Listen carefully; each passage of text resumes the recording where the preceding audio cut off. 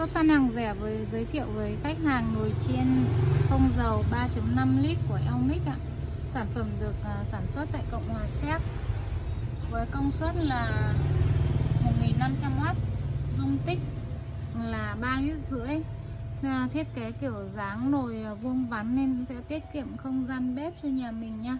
À, đây là một bên là nút nhiệt độ ạ và đây là một bên là nút thời gian sản phẩm được thiết kế với thân nồi mờ chống xước ạ.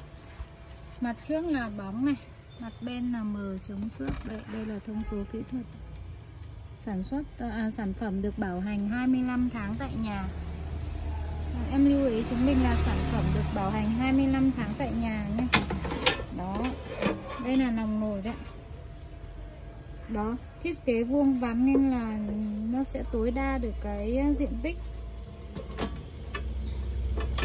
sản phẩm này được đang bán tại shop săn hàng rẻ.net với giá là 2 triệu 999 nghìn.